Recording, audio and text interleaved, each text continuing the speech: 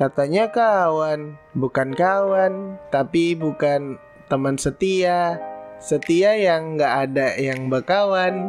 Buang aja kawannya ke langit.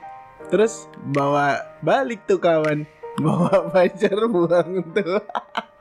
Balik lagi bareng aku di Emiru Mesia Pagi-pagi sebelum soljum Emang paling enak santuy ngopi dulu lah ya Karena kalau kata anak-anak di tongkrongan Kopi tuh ketika otak perlu inspirasi Anjay Gimana mental?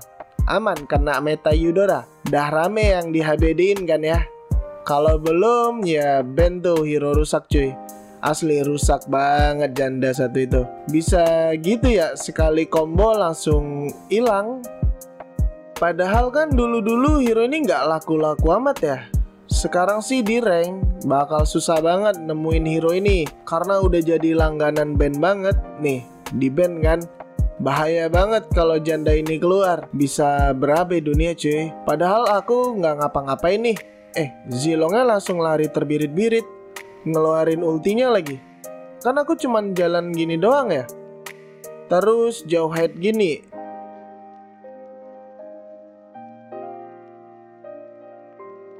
Um, orang-orang pada pemarah sekarang ya. Herman deh.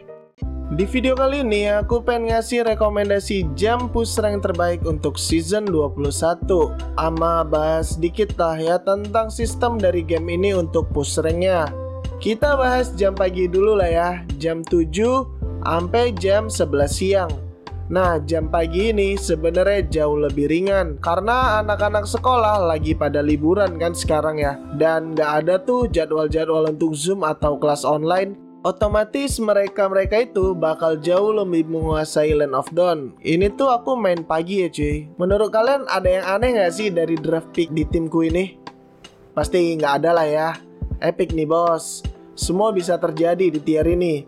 Sejago apa pun lu main, kalau solo di pagi hari ya bakal nemu yang bentuknya beginian. Beda cerita nih ketika lu main trio di pagi hari, tapi harus dengan draft mid, support ama offlaner. Jadi kudu lu sama temen lu yang pegang nih tiga role. Percayalah cuy, ketika lu kasih mid ama public, yang terjadi ya bakal sewangi draftku ini. Main pagi tuh jauh lebih enak ya, kalau trio ya. Beda cerita kalau lu solo. Kalau trio otomatis lu bakal ngelawan yang nggak terlalu berat banget. Yang akan lu temuin ya pasti bocil-bocil tadi. Dan alasan kenapa aku saranin kalian buat main trio, ya penyakitnya bakal kayak gini cuy. Lagi pengen main banget nih, niat-niatnya main. Eh, ada aja bocil yang disuruh ngisi galon. Terus main pagi juga kalau lu beruntung, lu bakal dapat partian-partian joki. Syukur-syukur kalau dapat jokian. Kalau dapat musuh jokian ya bakal hard game dikit lah game lu. Dan emang rame sih akun jokian yang main pagi karena ngejar tayang dan ya emang enak lawan bocil-bocil jadi easy. Tapi inget, lu kalau mau main pagi harus main trio atau partian ya. Terus jam 12 sampai jam 3 sore. Jam siang gini aku nggak terlalu ngerekomendasiin untuk solo rank.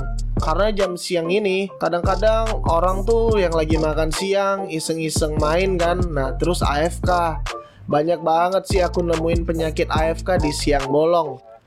Dan menurutku ya gitu. Karena orang-orang siang ini tuh cuma iseng-iseng main doang Terus mana jam masuk kerja kan mepet ya jam satuan lebih gitu. Nah abang-abangnya kerja juga nggak bisa main lama. Paling habis makan nyebat terus ya time masuk kerja ya kerja Ya FK aja. Dan bisa jadi anak-anak sekolah yang libur tadi lagi ngepush Disuruh mamanya makan. Ya mereka mah ama kredit score juga nggak peduli-peduli banget ya. Ama hilang bintang juga nggak peduli-peduli banget. Yang penting main bareng temen. AFK ya bodo amat. Apa itu kredit score? Jam 3 sampai jam 5 sore. Agak enak sih cuy. Kalau lu main jam segini Karena orang-orang lagi chill banget. Lagi menikmati senja banget lah pokoknya. Kerjaan juga udah kelar. Bocil-bocil banyak yang capek kan main dari pagi. Jadi kebanyakan sih main sore itu rada enak. Kalau aku pribadi main jam segini sih jauh lebih tenang ya. Karena orang-orang kebanyakan emang lagi niat-niatnya main. Nggak cuma iseng-iseng main doang ap jam 7 malam sampai 12 malam. Jam-jam ini adalah jam di mana traffic internet lagi rame banget. Pernah gak sih lu ngerasain jam 9 malam gitu ping suka naik turun? Gak stabil banget lah jam-jam segini. Ya gak bakal nyaman dong main ngelek-ngelek kan. Apalagi aku kan anaknya hero fasen banget Jadi gak bisa tuh ketemu sinyal yang ngelek-ngelek. Sorry lag Nah jam-jam segini tuh gak aku rekomendasiin ya buat lu untuk ngepush rank Karena orang-orang gak jelas itu banyak banget main jam segini Orang-orang toksik juga lagi rame-ramenya. Kalau maksain main jam segini ya siap-siap ketemu sinyal yang gak jelas sama orang-orang toksik. Terus jam terakhir nih, jam 1 malam sampai subuh. Sama seperti season kemarin, tengah malam gini di saat orang-orang lagi tidur dan di saat orang-orang lagi gelut di kasur. Nah, jam-jam ini bisa aku bilang jam terbaik untuk lu pada push rank. Mau solo atau party, lawan yang lu temuin pasti bakal jauh lebih berat. Ya sebenarnya sih nggak apa-apa dapat lawan yang berat kalau tim sama-sama bisa ngimbangin gamenya. Jadi seru lah cuy buat main jam segini agak ke subuh dikit sekitar jam 4 subuh nih. Kalian bakal ketemu beberapa Supreme ya. Ya kalau beruntung. Nggak tahu kenapa dari season kemarin main subuh pressure yang didapat tuh jauh lebih ngeri. Keras-keras banget lah cuy main subuh. Dan tips selanjutnya selain jam push rank, kita bakal ngebahas tentang sistem rank dari game Mobile Legends ini.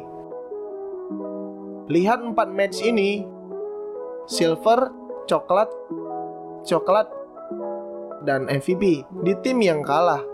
Yap, 4 match ini adalah match aku dan teman-teman noobku, kami main party 5. Dan inilah yang aku dapat asli, musuhnya keras banget.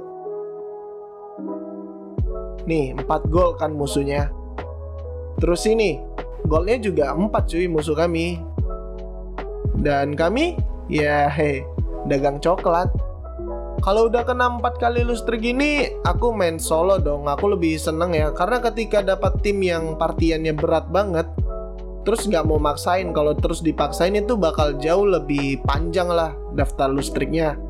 Lihat pas aku main solo, hmm, wangi. Jadi gitu cuy, lu kudu peka juga sama musuh yang dikasih sistem. Ketika lu dapat musuh partian yang berat banget nih dan lu gak bisa ngimbangin, udah solo aja. Itu sistem untuk solo sama party. Kalau win streak, lu gas aja terus serangnya ketika lu dapat win streak. Dan kalau win streaknya ini pecah, udah stop cuy. Jangan dipaksain lagi. Yang ada lu bakal dikasih tim yang susahnya minta ampun.